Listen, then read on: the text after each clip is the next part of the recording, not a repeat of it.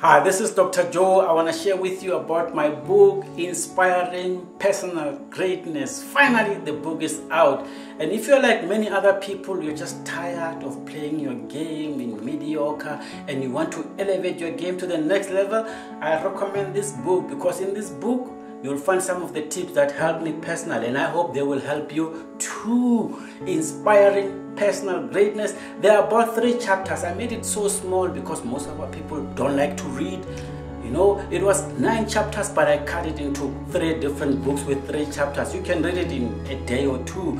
But in chapter one, really, I talk about factors that hold us hostage most of the time. And those factors are fear, procrastination, low self-esteem, lack of focus, and sometimes focusing on the how, how instead of focusing on the why. So I explain how I, I tackle those factors, and I hope that I'll help you too. Chapter two, once you've tackled those factors, you want to show your greatness. And for you to show your greatness, you need to define what success means in terms of your own definition. You need to focus on one thing and excel on it. And you need to understand how your pains propelled you to show your greatness. You need to show that you have credibility and you need to work on your self confidence. So that's chapter two.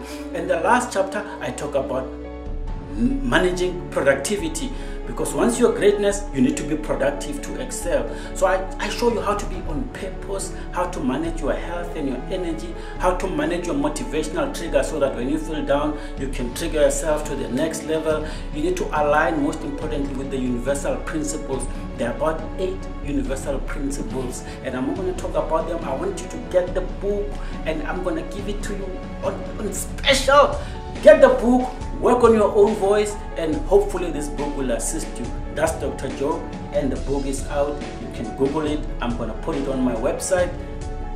Let's share insights and help each other become a better person